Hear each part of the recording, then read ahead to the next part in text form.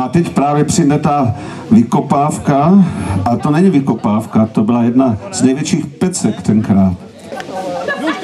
Takže jedeme.